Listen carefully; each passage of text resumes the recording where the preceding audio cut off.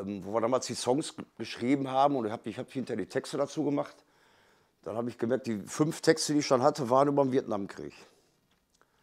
Und dann habe ich das Thema so ein bisschen noch weiter vertieft halt. Und äh, da habe ich gesagt, komm, dann schreibe ich das, ich sag mal, das Thema Vietnam bietet genug Material, um, um viele Texte darüber zu schreiben halt. Ne?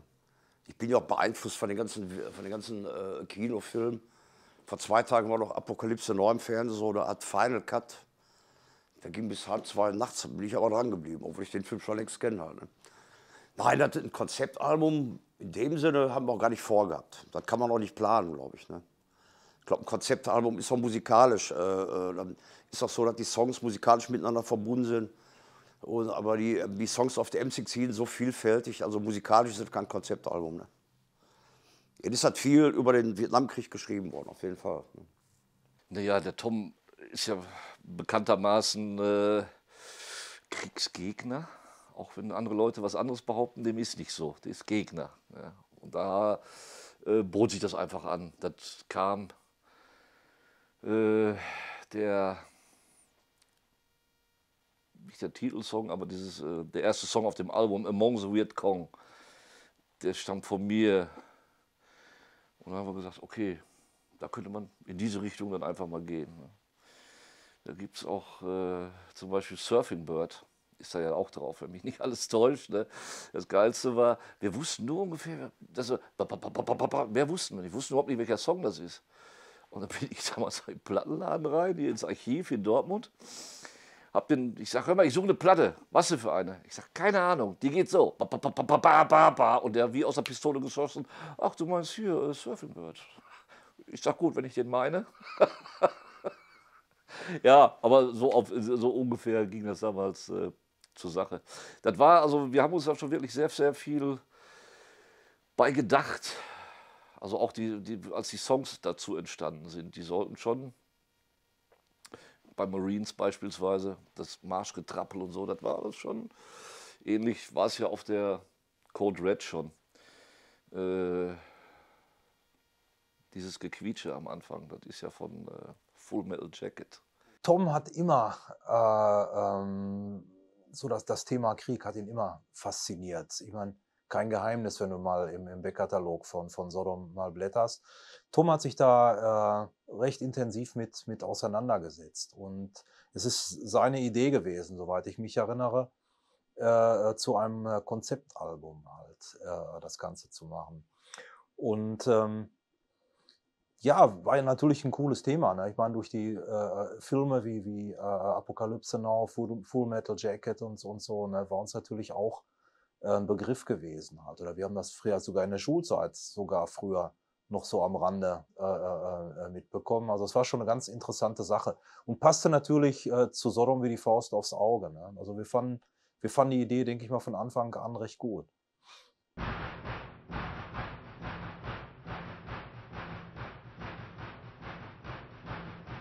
Ich persönlich sehe das nicht so, nee.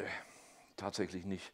Das wurde vielleicht damals, ich kann mich so dunkel erinnern, das wurde, ging so ein bisschen in die Richtung, dass sie gesagt haben, ah, wollten sie da anknüpfen mit moderneren Sound oder ähnliches, ja.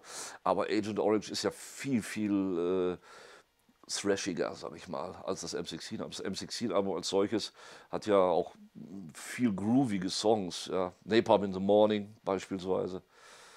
Soweit, also würde ich persönlich jetzt nicht so sehen ich, für mich persönlich ist das, ist das eigenständig. Klar, es handelt auch vom Krieg halt, aber ähm, für mich ist das jetzt keine, äh, keine Fortsetzung davon oder so, sondern ich denke, das ist eine, eine eigenständige Sache. Es war ja auch ein ganz anderes Kapitel, es war, war ein anderes Line-up gewesen in der Band und, und, und. Also ich habe es jedenfalls so empfunden. Ich weiß nicht, ob der Tom damit eine Fortsetzung äh, geplant hatte, das glaube ich aber nicht. Also ich habe es ich jedenfalls nicht so empfunden. Für mich war das äh, ja so eine einmalige äh, Sache, so äh, wie, wie, wie, wir das dann halt umgesetzt haben. Ne? Es gibt kein Nachfolgealbum.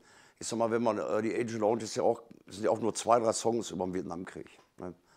Sag mal, Exhibition baut oder, oder, oder Electrocution haben nichts damit zu tun eigentlich halt. Ne? Ich sag mal, die Cover sind dann ähneln sich immer so ein bisschen halt, so die Coverkonzepte, aber hat nichts miteinander zu tun einfach. Ne? Aber ich schreibe ja heute auch noch Songs über Vietnam. Also, ne? Nicht, dass ich jetzt so ein Vietnam-Fan bin oder so, weiß aber Es ist einfach so, ich habe das immer schon so interessiert halt. Ne?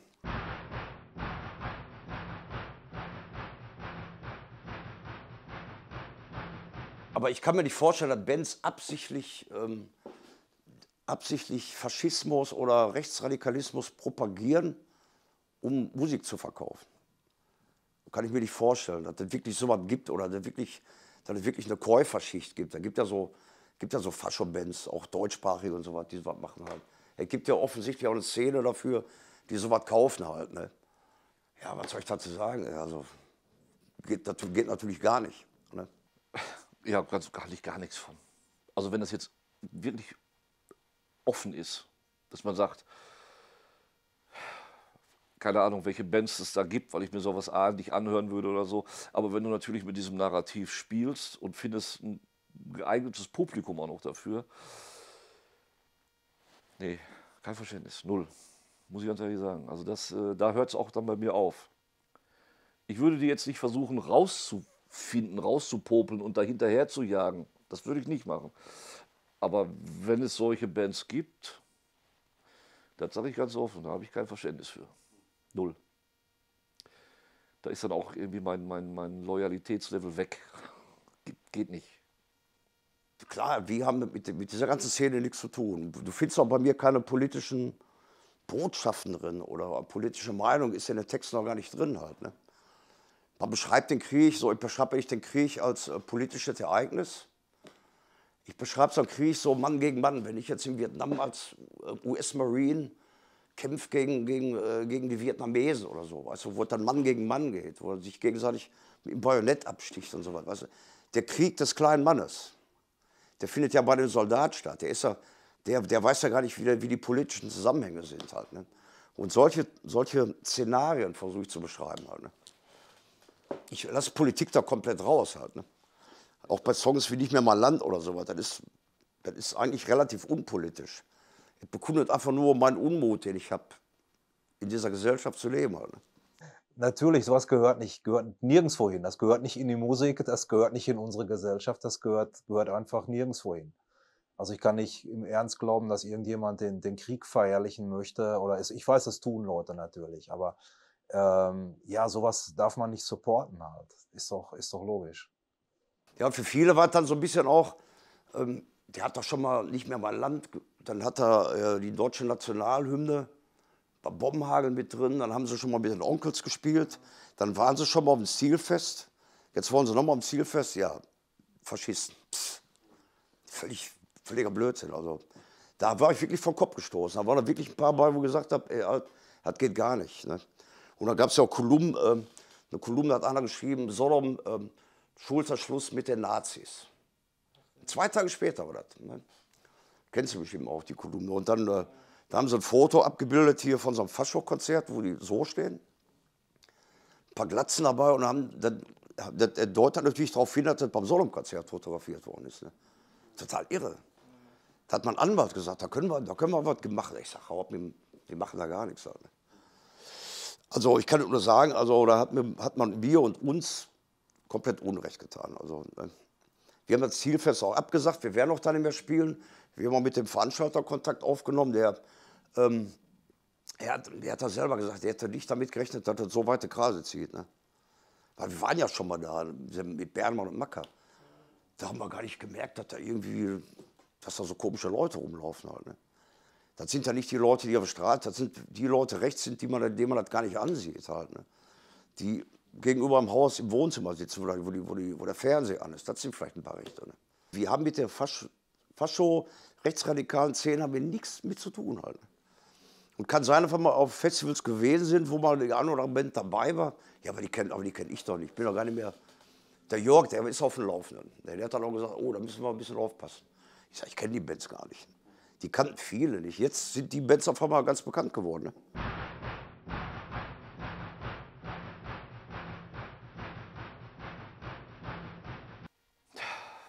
Da werden wahrscheinlich alle drei dasselbe sagen, als wir da wirklich mit den alten Veteranen saßen, die auch alle in Deutschland gearbeitet haben. Die haben, dann, die haben alle Deutsch gesprochen, das war total geil. Also wir, das war geplant für eine halbe Stunde, das war so eine Siedlung. Und daraus geworden sind, glaube ich, acht Stunden oder neun, bis in den Morgen. Die sind immer wieder los, haben Bier geholt und so. Äh, das war massiv beeindruckend, weil der wirklich erzählt hat, wie das war und wie sie dann nach dem Krieg, was dann passiert ist, dass sie nach Deutschland gekommen sind, Arbeit gefunden haben. Und dann war irgendwann die Arbeit vorbei. Oh, dann wurden die immer wieder alle nach Hause geschickt. Und da waren wirklich, also die hatten, da waren echt Kriegsversehrte bei, das war Beine ab, Arme ab, Verbrennungen die ganze Seite. Mit denen saßen wir da an einem Tisch. Also das war. Ja, also es war, wir haben einen super schönen Abend verbracht in so einem äh, Veteranenheim. Äh, wir sind da mit Leuten vom, vom Fokus, von dem Magazin, sind wir da so um Häuser gezogen und die haben für uns ein Treffen arrangiert. Wir wollten an einem Abend, wollten wir äh, in die bekannteste Szenekneipe gehen äh, der Club nennt sich, ich glaube, der heißt Apokalypse Now Club. Und äh, das ist so eine Anlaufstelle für so US-Veteranen, die dann wohl auch ihren Söhnen, also das hat man da gesehen, da waren viele halt, glaube ich, auch mit ihren Söhnen äh, da gewesen und haben mal so gezeigt, wo der Papa halt früher äh, da gekämpft hat. Und, und die haben denen da so ein bisschen was so als, als so Trip in die Vergangenheit, äh, ähm, haben die da so ein bisschen was zeigen wollen. Und in diesem Club, da gingen also fast nur Amerikaner ein und aus. Das war wie so eine, wie so eine Diskothek, halt, konntest was essen und so. Wir wollten dahin und wir wollten vorher, wollten wir noch äh, uns treffen mit ein paar vietnamesischen äh, Veteranen, die halt auch zum Teil äh, verletzt worden sind äh, im Krieg. Und dann sind wir in so ein, so ein Veteranenheim gegangen mit den Leuten vom Fokus. Und da habe ich überhaupt nicht mitgerechnet, wie das Ganze ausgegangen ist. Also wir waren nachher wesentlich länger äh, bei diesen Veteranen gewesen. Also in dieser Disco, das hätten wir uns sparen können. Dann hätten wir auch in irgendeine andere Disco gehen können. Also Apokalypse Now Club hörte sich geil an. Aber im Prinzip war das eigentlich nichts Besonderes gewesen. So habe ich das jedenfalls empfunden. Und wir sind an dem Abend vorher, wie gesagt, äh, mit Veteranen haben wir uns auf so einem Hinterhof, haben wir uns da hingesetzt und äh, da war einer, der hieß Theo, das weiß ich noch. Der, der war halt auch äh, äh sch schwer verletzt worden, auch mit, mit Napalm. Der hat also sehr viele Verbrennungen erlitten und ist, ähm, ich glaube, behandelt worden in, äh, in Ostdeutschland, in der damaligen DDR. Da waren ja sehr viele Vietnamesen. Der konnte auch Deutsch und äh, wir haben uns da nicht nur mit denen unterhalten, wir haben uns auch richtig gut eingetrunken. Das war, war sehr geil. Da habe ich tatsächlich auch noch ein paar schöne Fotos gefunden, die Tage. Und dieser Abend, der hat mich da am, am meisten beeindruckt. Ne? Also äh, ähm, wie diese Leute äh, damit mit, mit umgehen, was, was da passiert ist. Und äh, ich hatte so den Eindruck, die waren, die waren jetzt so gar nicht verbittert einfach. Ne? Die, die haben halt äh, ja recht, recht tapfer halt, ähm, wie die mit, mit ihrem Schicksal da umgehen. Halt. Zum Teil wirklich schwer verstümmelt worden, aber wirklich äh, äh, sehr, sehr sehr offene, sehr freundliche und, und, und äh, äh, extrem nette Leute. Und ähm, das hat unheimlich Spaß gemacht, äh, den Abend da sich mit denen zu unterhalten und ein paar Bierchen zu trinken. Also das war sehr, sehr lehrreich auch. Ja? War eine coole Sache. Der ganze Trip, ich sag mal, Thailand ist alles kein Problem. Da haben wir auch gespielt und so, da kann man auch hinfliegen ohne Probleme. Ist alles gut und schön. Aber Vietnam war schon ganz, was ganz Besonderes. Ne? Das fing ja schon an, wo wir dann da gelandet sind, am Hotel. Wir haben alle Kohlampf gehabt. Ne? Und dann sind wir in so ein, so ein Restaurant gegangen, da konntest du draußen sitzen. Die Karte, konnte man halt auch nur Finger drauf halten. Ne? Da kam da irgendwie, da, da war glaube ich ähm, Meerschweinchen oder so am Spieß gegrillt und mit so, mit so, mit so Zitronengrassalat.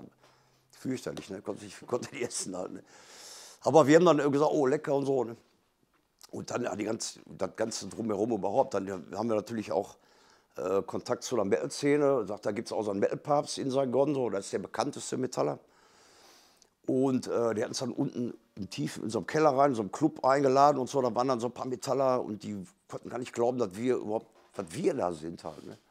Da haben wir ihnen erklärt, wir wollen so ein Album schreiben und wollen uns ein bisschen erkundigen und so das war schon krass halt. Ne? Aber draußen, das Rumlaufen mit Kutten oder so oder lange Haare geht gar nicht. Das war dann zu der Zeit noch ziemlich verpönt. Ne? Das politisch, ich weiß gar nicht, was das für ein politisches System da war, aber die Jugendlichen waren dann schon alle so, alle, die sahen alle gleich aus. Ne? Und langhaarige äh, Kerle sowieso nicht.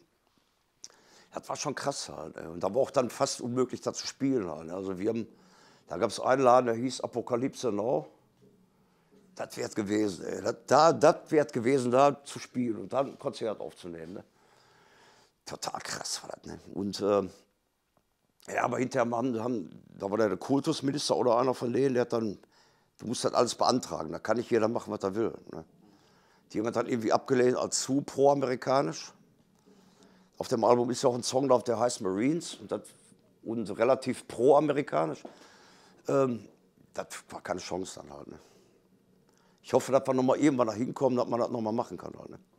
Ja, ja, und natürlich äh, äh, Ho Chi Minh City, Saigon. Wir haben immer Saigon gesagt, heißt aber eigentlich Ho Chi Minh City, äh, wo wir in dem Club waren, Apokalypse Now. Habe ich, tatsächlich, hab ich tatsächlich ein Poloshirt von. Ne? Keine Ahnung, finde ich jetzt nicht. Aber ich tatsächlich ein Poloshirt von Apokalypse Now Bar äh, Saigon. Also ist schon, ist schon wirklich heftig.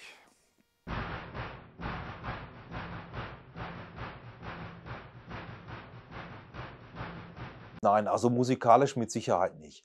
Also äh, es mag sein, dass der Tom vielleicht äh, äh, an den Texten da nochmal irgendwie Hand angelegt hat. Ähm, aber das, das müsste der Tom sagen. Also, also von mir aus nicht. Also die Songs waren ja eigentlich auch schon fertig. Ich habe also zumindest dann bei den Texten nochmal ein bisschen Hand angelegt halt. Ne? Ich denke, dass man so bei den, bei den, bei den Kinoverfilmungen sieht oder, oder hört, ist das ja nicht unbedingt immer die Wahrheit halt. Ne? Ähm, aber ich hab, wir haben uns ja auch mit den Soldaten, da waren ja auch alles vietnamesische Soldaten, mit denen unterhalten. Und die haben, die haben mir auch genau erklärt, wie das so abgelaufen ist, äh, wie der den, wie der Napalm abgekriegt hat.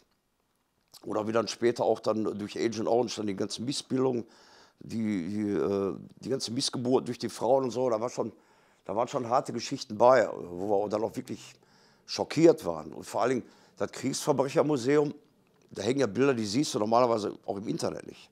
Ne? das war schon heftig, äh, da muss ich schon sagen halt. Ne? Da, da habe ich dann einfach noch ein bisschen mehr Emotion und auch ein bisschen mehr Aggression in die Texte reingelegt. Hinter. Ich habe da noch was geändert, ja. Die Musik stand eigentlich, glaube ich, schon so mehr oder weniger. Ne?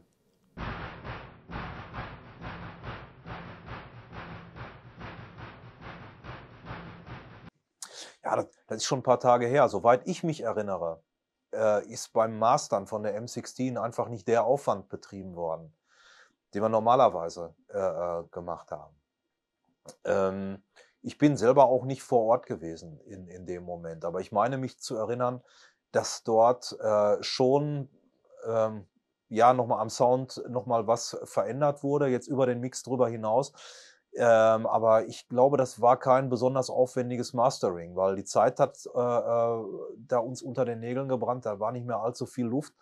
Und das ist mein, so wie ich das in Erinnerung habe, ist das relativ schnell gemacht worden. Harris hat dann nochmal was gemastert oder hat irgendein Programm, äh, hat die Songs da drüber laufen lassen. Ganz genau weiß ich es auch nicht mehr. Aber es war definitiv nicht der Aufwand, den man heute oder den wir auch damals schon äh, betrieben haben, äh, wenn die Sachen nochmal zum in, in Masterstudio gegangen sind. Das ist also definitiv nicht passiert bei der M16. Ne? Das weiß ich noch ganz genau. Wir waren, bei, äh, wir waren mit Harris Jones aufgenommen im Spiderhaus in Lütte. Und wir waren knapp mit dem Mischen dran. Also ich weiß, das Plattenfirma gesagt, ey, das muss jetzt kommen. Ihr habt keine Zeit mehr, nix. Und dann hat der Harris das selbst noch gemastert. Wie gut das jetzt war, das kann ich 20 Jahre später nicht mehr beurteilen. Also ich hatte damals, konnte ich nicht sagen, ist das jetzt gut, was er da gemacht hat oder nicht. Ja, deswegen, also da hatte ich also von Master und sowas auch nicht wirklich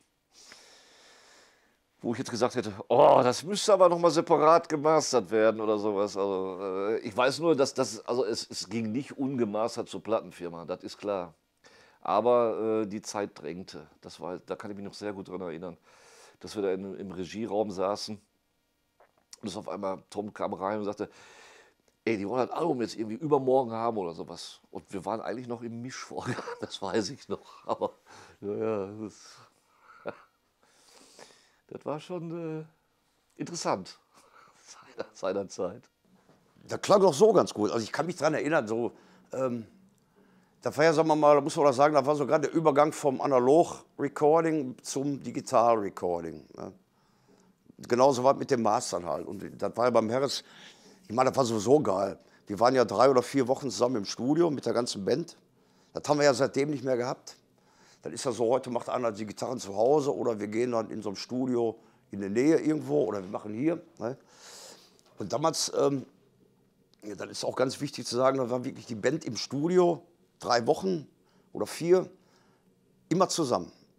Das heißt, wir haben von morgens bis abends, wenn Harris mal da war oder mal nicht, pff, haben wir daran gearbeitet, abends Bierchen oder wir haben draußen gegrillt oder so, weißt du, herrlich. Also ähm, das, das seh, da sehne ich mich wirklich nach zurück, nach solchen Zeiten halt. Ne? Ja, wir haben dann gesagt, wir haben dann gehört, ich sage, das klingt doch eigentlich ganz gut. Wir müssen natürlich ein Master abgeben. Master heißt ja auch nicht unbedingt, dass du jetzt den Klang veränderst. Ja?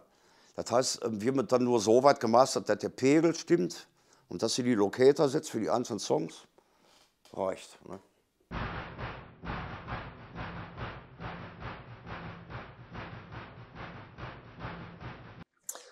Ja, da weiß ich, da weiß ich gar nicht, wo ich, wo ich anfangen soll und aufhören. Also das war, das fing schon super an im, im Studio. Also äh, soweit ich mich erinnere, hatte der Tom, der hat sein Luftgewehr mitgebracht.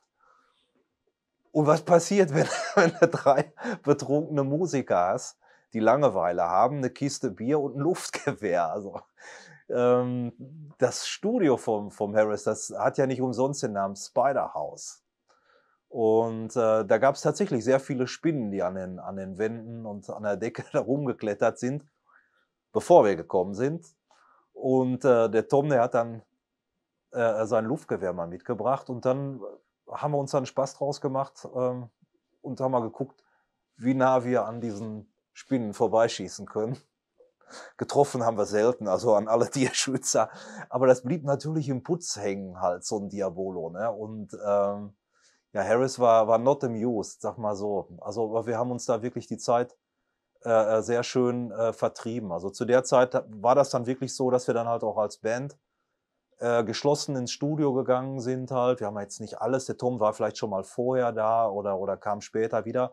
Aber wir haben auch als Band, äh, das fand ich ganz geil, wir haben sehr viel Zeit zusammen im Studio verbracht halt. Ne? Abends vielleicht auch mal eine Flasche Bier zusammen getrunken, ein gepflegtes Pilz und ähm, nee, das war, war eine schöne Zeit. Also da denke ich, denke ich sehr gerne äh, äh, dran zurück. Das hat äh, viel Spaß gemacht halt im Studio da. Ähm, in Lütte war das gewesen, ja.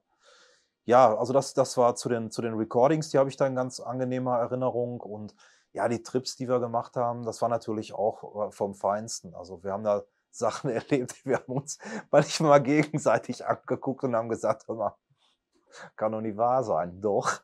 Also es war schon, war schon toll halt. Ähm, ja, die Release-Show, die war Bombe gewesen. Dann unser Trip nach, nach Vietnam, wo wir sehr viel äh, gesehen haben, sehr viel unternommen haben halt auch. Und ja, das waren so Dinge, ne, da kannst du auch äh, lange von zehren. Also das war, waren wirklich ein paar ganz, ganz geile, äh, äh ganz eindrucksvolle Reisen auch, die wir da gemacht haben. Und natürlich viele, viele äh, Geschichten erlebt haben.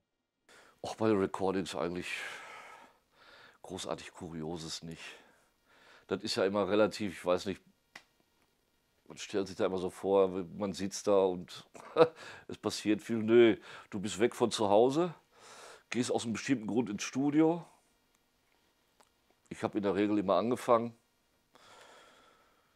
und da hast du eigentlich nicht kaum Zeit, dass irgendwas passiert. Du bist ja nicht weg. Kannst du da jetzt auch irgendwie äh, keine große Party machen oder sowas. Das kannst du am nächsten Tag nicht mehr spielen. Also ich nicht. Also auch damals nicht. Da muss schon immer, das habe ich immer sehr, bin das immer relativ äh, diszipliniert angegangen. So. Also sprich, bei den Recordings würde mir jetzt auf Anhieb nichts einfallen. Ich habe ja so aus Spaß an der Freude habe ich ja mal ein Luftgewehr dabei gehabt. Im Studium wenn ich mal Langeweile habe. Ne? Und dann war der Herr, es war schon am Pennen, wir haben abends immer die dicken Spinnen mit dem Luftgewehr von der Wand geschossen. Ne? Und da ist natürlich auch der Putz immer mit abgeflogen halt. Boah, der Herr ist hier Schwein und so. Ne? Da mussten wir hinterher auch ein bisschen was bezahlen für. Ne? Und, dann, und dann bin ich morgens in der Küche, da muss ich einmal früh auf, da habe ich Licht angemacht in der Küche und überall die Mäuse. Abgehauen, ne? Und dann, boah, ich sag, Harris, das geht gar nicht. Ey. Die ganze Küche ist immer Mäuse, wir haben unsere Sachen da alle stehen. Ne? Und dann sind wir dann zum Baumarkt gefahren, haben wir so diese Mausefallen gekauft, bestimmt 20 Stück oder was. Ne? Da haben wir dann abends hingelegt und nachts hast du immer so klack, klack, klack, klack. klack. Boah, ich denke, boah. Und dann morgens haben die Mäuse alle eingesammelt. Ja, das war schon, das war wirklich ein Erlebnis. Das war ein Abenteuerurlaub. Ne? Und dann nebenbei noch eine Platte aufnehmen. Das war schon wirklich krass. Ne? Aber mit den Spinnen, wenn da einer eine Spinnenphobie hat oder so, da hätte ich das, da werden viele abgehauen. Das, ich meine, ich bin da relativ schmerzfrei. Ne?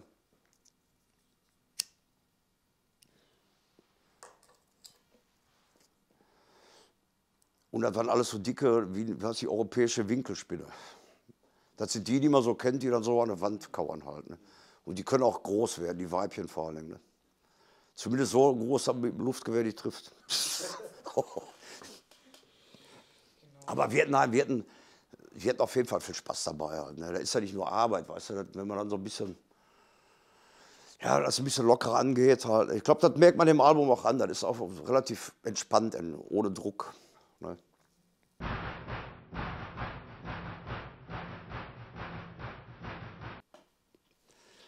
Ab 50 ist es dann soweit. Ne?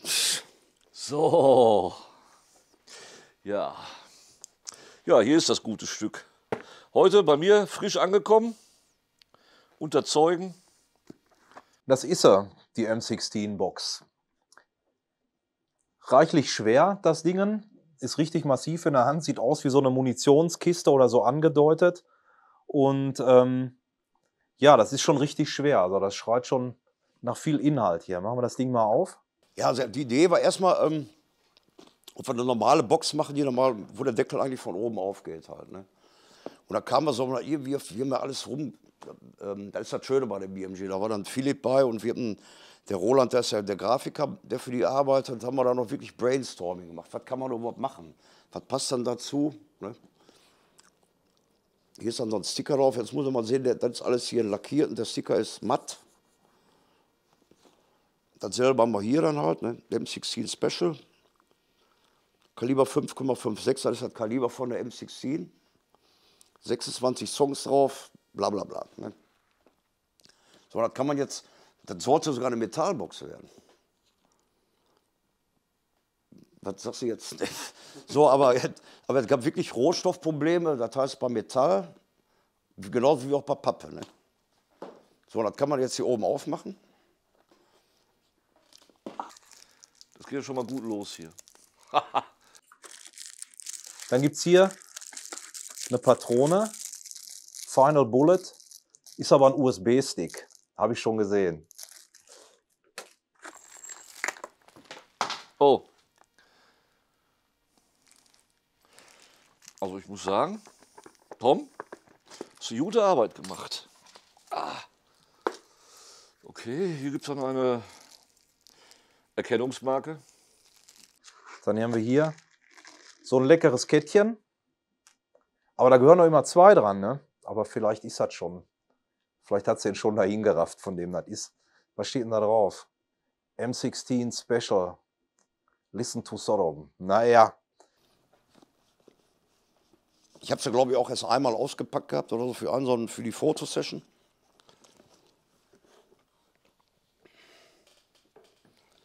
Also soll ich jetzt mal kurz zeigen? Ja, ja ne?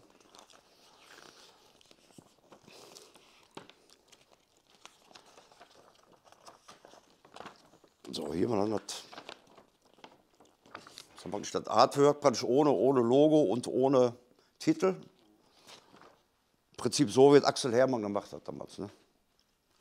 Fand ich auch mal eine gute Idee, das einfach so ein Querformat zu machen, ohne, ohne Solom-Logo. Ne? Ich glaube, was mir gut gefallen hat, das ist jetzt hier nochmal so ein Heft, wo nochmal ganz viele Fotos drin sind. Und der Manfred Eisenblätter, der hat hier eine, eine Story äh, geschrieben über die Entstehung äh, von, äh, äh, von den Aufnahmen und, und von unserem Trip nach Thailand, nach Vietnam. Also ist, ist eine ganz coole Sache, ne, wenn man sich das mal anschaut. Ist so ganz, denke ich mal, ist auch nicht ganz ordentlich gemacht. ja, was soll ich sagen, ey? ja. 40 Seiten Liner Notes. Booklet mit Unterschriften. Wow.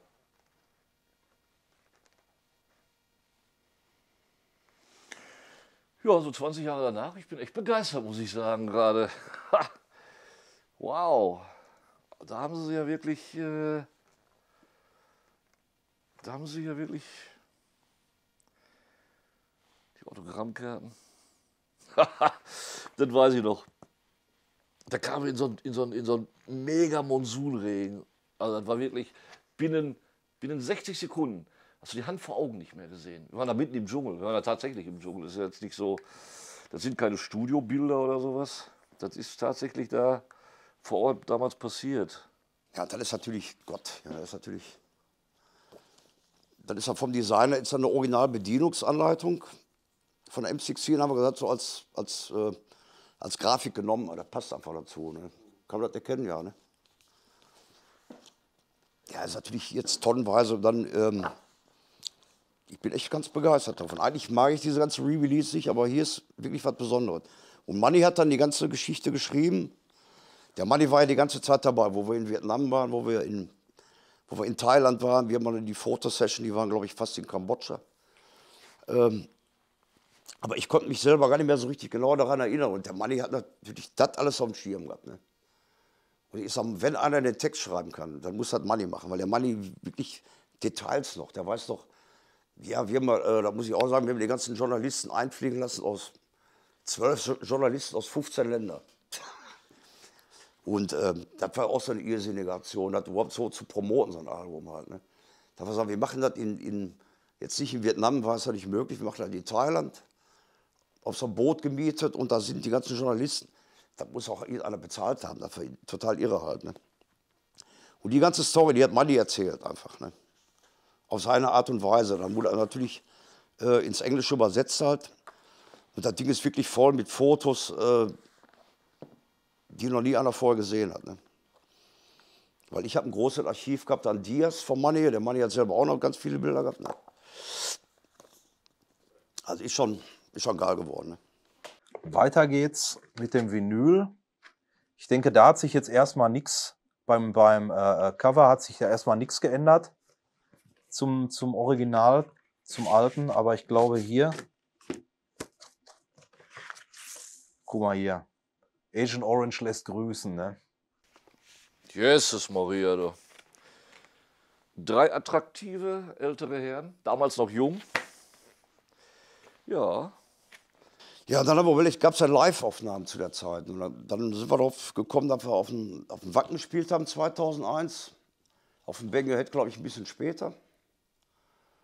Und in Japan haben wir auch gespielt zu der Zeit. Und dann haben wir, haben wir jetzt praktisch einen, einen offiziellen Bootleg zusammengestellt, also zwei Stück mit, mit ein paar Live-Aufnahmen drauf. Ne? Ist auch, ist auch gut gemacht halt, so, das einfach so, jetzt sollte einfach so einen Bootleg-Charakter haben halt, jetzt nicht jetzt extra ein Cover entwerfen oder, oder malen lassen. Wir gucken noch mal zur Vorsicht. Jetzt ist es aber wirklich leer. Also für mich finde ich ein sehr, sehr großes, stimmiges Paket. Gucke da später noch mal rein. äh, wie gesagt, ich sehe es jetzt das erste Mal. Habe nichts davon gehört im Großen und Ganzen. Äh, also nach 20 Jahren muss ich sagen, ist das nochmal was, was, was sehr, sehr Schönes, wo ich mich sicherlich auch mit beschäftigen werde. Äh, zumal ich gehört habe, das wurde remastered von Tony Merkel, dem aktuellen Trommler.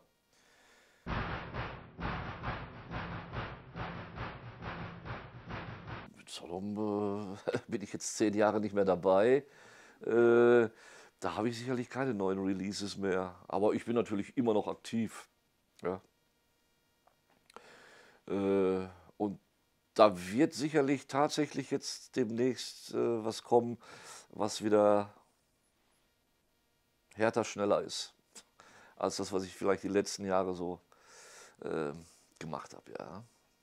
Es geht weiter und äh, im Moment ist es so, ich spiele jetzt seit äh, Januar 2018 habe ich mit dem Macker zusammen eine neue Band gegründet, das ist Bonded und ich freue mich diesen Monat ganz besonders, also das hat man als Musiker auch nicht oft, dass im November diesen Jahres gibt es gleich zwei Releases für mich.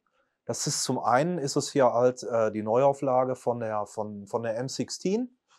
wo ich auch sehr stolz drauf bin.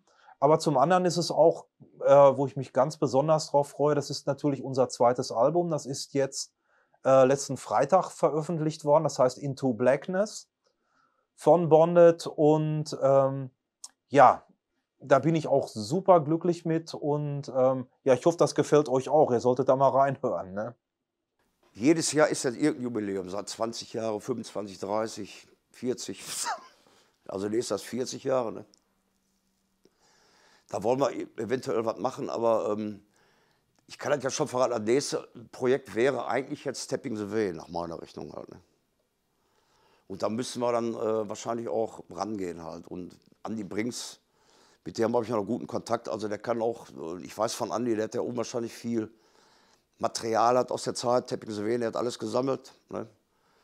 Und ähm, bei Tapping the Way gibt es dann noch die Original 24 Spurbänder die eigentlich normalerweise immer verschollen sind. Also die, die sind von unseren Platten fast gar nicht mehr da, weil die damals, äh, die 24 Spuren, die wurden alle immer neu komplett durchgelöscht für die nächste Band.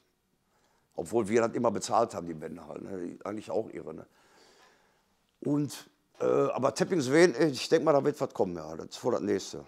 Ne? Und für mich ist da natürlich auch das nächste 40 Jahre Sodom. Und dann, ich weiß nicht, ob ich da eine große Glocke hänge, ob ich ein bisschen was machen will. Ich denke mal, SPV ähm, wird dann vielleicht oder in Zusammenhang mit BMG irgendwas rausbringen wollen. Da kann ich aber noch nicht verraten, aber ich hoffe, dass wir vielleicht irgendwie nächstes Jahr eine schöne Show machen mit ein paar Ex-Musiker dabei. Ne? 40 Jahre ist dann schon auch eine Hausnummer halt. Ne? Da wollen wir bestimmt was machen. Wir müssen halt abwarten, wie sich alles entwickelt jetzt halt. Ne? Ob wir dürfen und können und so. Ne?